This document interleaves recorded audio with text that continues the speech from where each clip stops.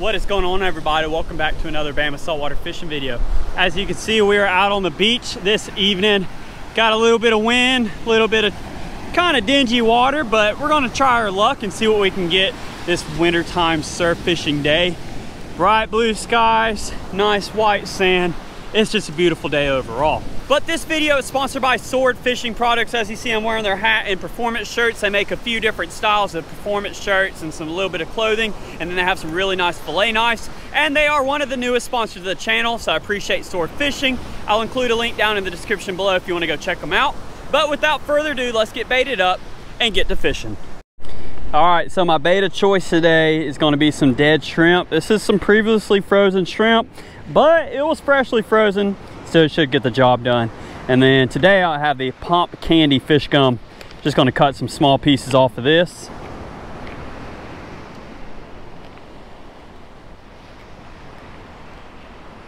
And let's go ahead and bait up our pompano rigs. I'll be throwing a Frisky Fins pompano rig. All I'm gonna do is take this small piece of shrimp, thread it on the hook, and then stick my fish gum on there just like that and that is a perfectly baited up rig. So we're gonna do the same thing. These are just high-low rigs or double drop pompano rigs. They just got two hooks. They got some floats, especially on uh, dirty water conditions like today. Those floats do help a lot to get the fish's attention and keep it from getting buried in the surf. So we'll bait up the same thing here. All right, now let's get these rods casted out here. Now my setups are nine foot surf rods. These are designed specifically for surf fishing. I like the nine foot rod. It's perfect for our area. And then I have a 20 pound mono top shot, which is about 60 yards or so. Then I have 20 pound braid backing and pretty much 5,000 size reels. So let's go ahead and get these casted out, set in our rod holders here, spaced out about 20 feet and see what we can get today. I'm gonna try not to get wet because it's cold. And I don't often wear shoes and blue jeans to the beach. It's like against everything I believe in. but here we go. There's a medium cast there, probably about 50 yards or so. Set that in the rod holder. And anytime you set anything in the rod holders, you always want to loosen that drag up just a little bit. So if a big fish takes your rod or if you get a bite, they can run and won't take your rod out of the rod holder. So always loosen that drag, then you can adjust it when you do get a bite and catch a fish. But this one's out, let's get the other one casted out.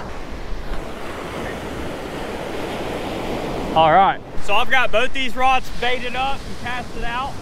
Now let's just play that fun waiting game and see if we can hook into anything. I would like to take some fish home and cook them up today, if possible. Hopefully we can catch us a fish, so stay tuned, see what we hook into. This one just got a bite. Is it on? Oh yeah, it's on. It's on. Oh, big fish. big fish on the Frisky Fins. That's a good one. Oh, I hope it's a big drum. I'm, oh yeah. Come on, let's get this sucker in. I'm pretty sure that's what it is, is a big drum. That was on the Frisky Fins. Literally uh, first cast. Got one. Come on. Yeah, it's coming in pretty good. Come on now. I like that 20 pound monofilament because it kind of gives like a, a shock leader per se. You know, it absorbs when those fish first hit it, it stretches a little bit. So that's either a stingray or a shark. What is that? Oh no, redfish, redfish. Redfish on the Frisky Fins. First cast on the Frisky Fins rig. Beautiful redfish. I'm gonna take this one home and cook it. That is awesome, check that out. Look at that, that circle hook did its job right in the corner of its mouth. Fish gum, shrimp, and frisky fins. First cast of the day. Winter surf fishing at its finest. Alrighty, so I'm gonna keep this fish. It is probably oversized, which I don't normally keep the bigger redfish, but this one right here is a perfect size to take home and eat without getting too much red meat or wormy. So that's a beautiful fish. Wintertime surf fishing at its finest. Check out the spots on his tail. First cast with the rig and man, it's just nice redfish. That is awesome. What a great day. So now we can test out that SORD fillet knife when we get home. But this is a rig that me and Frisky Fins came up with that would suit me pretty good. That's a Bama Saltwater Frisky Fins rig. I think that color works real well, especially with my favorite color fish gum, which is the Pomp Candy. And you saw that it got the job done first time using it. That is awesome. So let's go ahead and measure them just to get a measurement and then throw them in the cooler and get baited back up again. All right, so I did measure it 27 inches, so just an inch over slot, but I'm allowed one over slot per day in Alabama out of my three fish of redfish. So that's a perfect size. This will provide some good meat at home and we'll go home and cook it, but let's go ahead and get baited back up and get back to fishing. All right, I think this one just went slack. So if there's a fish on it. Either that or it got pushed up by the waves. I think there's a fish on it. We'll find out. I just caught that redfish and it looks to be a whiting on this one. Yep, a northern kingfish. So this is a whiting, it's in that whiting family. There's three different kinds. The one with the tallest dorsal fin is a northern kingfish and it has these cool stripes. So this would actually make really good redfish bait as well as cut bait. But I've caught a big redfish already for today. So I'm gonna toss this back and see what else we can get. So it's this fish's lucky day. But all right, northern kingfish, aka whiting. All right, buddy. These are actually really good bait for those redfish and black drum and sharks. Amberjack when you go offshore.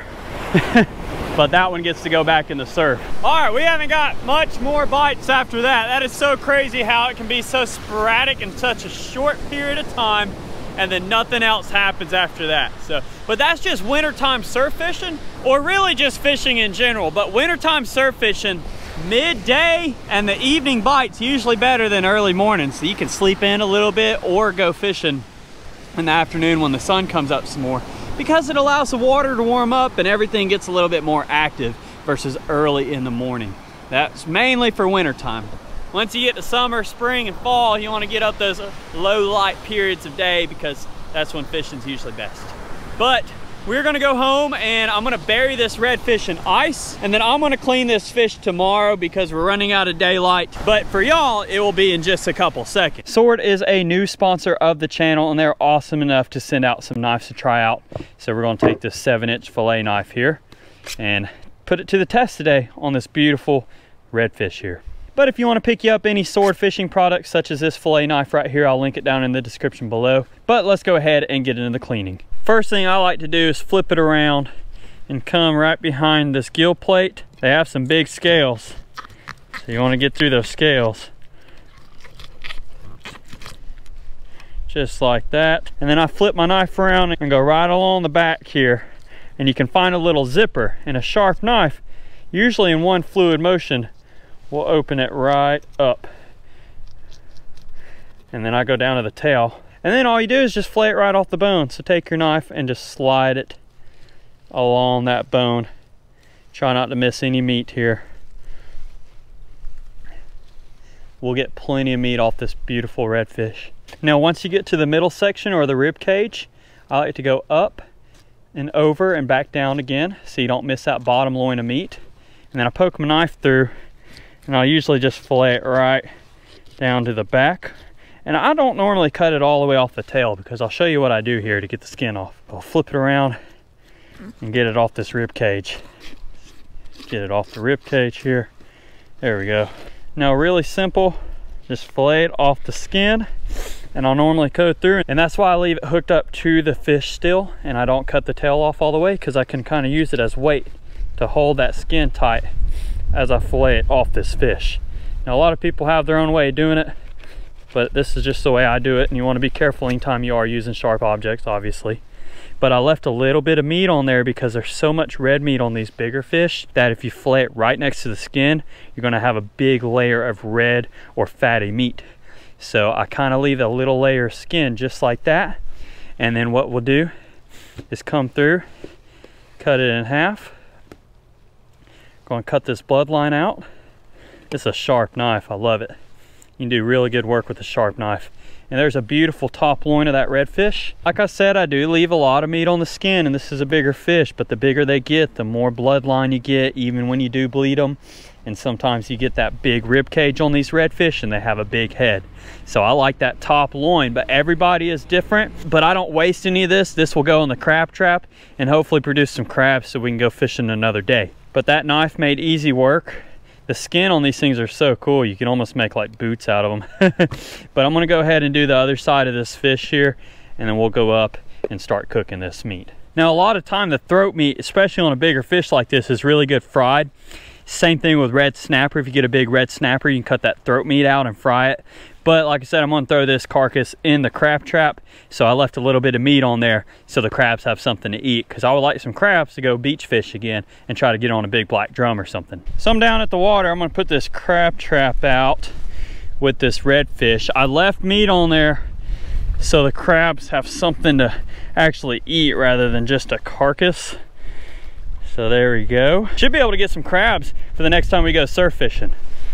So let's go toss this out. It is a windy day. I hope y'all can hear me. Whew, almost fell off. Okay, crab trap's out. Let's go upstairs and start cooking. All right, y'all, we are inside with our cleaned up redfish. This is gonna be our lunch for today. So I have my redfish fillets. We're gonna be making some redfish tacos. I'm just gonna pan sear them or grill them on the stove top here, make it real simple because it's pretty frozen outside right now. But I have some EVOO, a special blend of spices here. Got a little bit of onion, paprika, cayenne pepper, salt, garlic powder, a little bit of parsley flakes. So just a little bit of seasoning that I'm trying out here and it tastes pretty good. And some cumin powder in there. So we'll try that out and see how that is. And then goat cheese, crumbles, flour tortillas, and then last but not least, this Herdez guacamole salsa. This stuff's really good. All this stuff is really to choice and to your flavor. If you have a seasoning you like or different tortillas or different toppings, you can do that. But I think this is gonna be a pretty good combination with this salsa and then the crumbled goat cheese. I'm gonna let a little bit of extra virgin olive oil warm up in the pan here. And then what I'm going to do is coat my fish with some EVOO.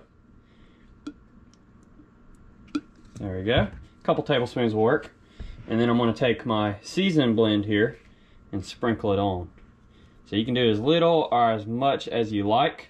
The good thing is, is this sauce is creamy enough and has a very good flavor to complement this spice rub. So we can add a decent amount and not worry about it being too overpowering. And then I'm not afraid to get my hands dirty here. But that's a coated up piece right there. Our pan should be getting warm. And then let's go ahead and stick our fish on there.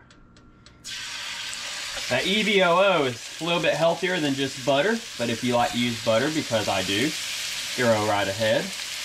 But it also allows it not to stick. And I just have this on medium heat right now because we want it to brown, but we don't want it to burn. Because these are thicker pieces, majority of them are, especially that top one of that redfish. We want it to be cooked thoroughly. All right, it's been five minutes, so we're gonna go ahead and take our spatula here and flip it. Wow, those look good. Look at that. You want that brown finish on there, but you don't want it burnt. We'll let these cook for another five minutes on this side, cook the rest of these up, and then next we just want to soften and brown our tortillas a little bit so we have some nice crunch and flavor for our tacos. All right, yeah, it's been another five minutes, so we're gonna go ahead and plate these fish. Look at that one right there. That's a good piece of redfish. There's the last piece. So next we're going to take a flat cast iron here and do our tortillas. All we going to do is soften them and brown them just a little bit. Just about a quarter size thing there and spread it around. Let's go ahead and start browning our tortilla here. Shouldn't take very long. Cast iron holds heat really well. Go ahead and flip it. That didn't take very long at all. All right, we just got done browning our tortillas. Look at that. They look delicious and they smell great. And let's take some of our delicious looking redfish. Oh wow, look at that. Beautiful white meat. Put it in the center of our taco. Do the same thing on this one. Next thing, let's add some of our salsa. So this stuff's really good. It's a very creamy salsa. It's got a great taste to it. All right, let's sprinkle some of this crumbled goat cheese on there. This stuff actually smells really good. All right, and the good thing about tacos is you can be messy with them because they are delicious. So don't be afraid to chomp down and bite into it. But look at that taco right there. Fresh redfish. We know where we got it right off the beach. Man, I cannot wait. So let's go ahead and take a bite. Mmm. Mm-hmm. That is wonderful. Let me get a napkin. Well, let's take another bite. That was wonderful. The fish is great. It doesn't have an overpowering seasoning taste, which is what you want when you cook fresh fish like that. You don't want to cover it up with a bunch of seasoning. Well, let's take another bite here. Hmm. But I'm going to go ahead and finish my lunch. I appreciate y'all for watching. This turned out wonderful. I hope you can get out there and try this yourself. If you enjoyed this video, don't forget to like and comment down below. And if you want to keep up with more, hit that subscribe button if you haven't already. We'll see you on the next Bama Saltwater Fishing video. Hopefully we can get into a big fish again. Want to thank the good Lord up above for everything he does for us. We'll see you later.